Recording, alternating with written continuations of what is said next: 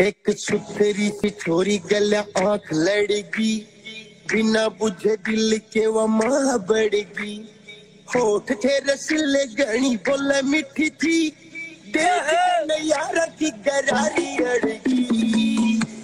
आज हो क्या कथी सारा टूट गया दिल का तारा। लाग गया मेरे